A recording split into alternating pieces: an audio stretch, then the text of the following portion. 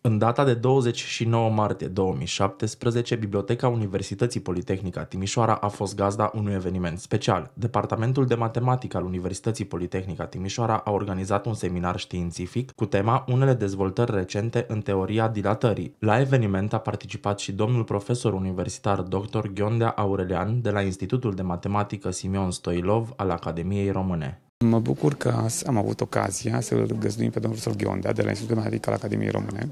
Lui uh, este cadru didactic la uh, Academia Română, dar în același timp activează într-o universitate din Turcia și în această săptămână derulează o vizită de lucru, să spun așa, științifică în Timișoara. Ideea este să încercăm să folosim expertiza lui în teoria operatorilor și dumnealui să ne împărtășească, hai să zicem așa, noile realizări în domeniu, nouă celor de la Departamentul de Antică al Universității Politehnică din Timișoara.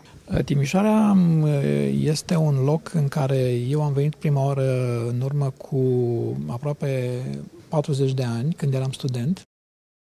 Pe vremea aceea Uh, Timișoara, mai ales în anii 70 și 80, era locul în care aveau loc uh, uh, conferințe, celebre conferințe de teoria operatorilor internaționale și practic era devenise centrul de întâlnire al specialiștilor din teoria operatorilor. Astăzi au fost niște și vor fi în continuare niște prezentări ale unor rezultate recente din această teorie, eu am făcut o prezentare a rezultatelor mele cu un student doctorand de-al meu, iar colegii de aici prezintă rezultatele lor recente pe acest domeniu. Practic este un, o modalitate în care schimbăm informații, după aceea vom discuta pe probleme mult mai speciale, putem să începem niște colaborări, cam asta este ideea.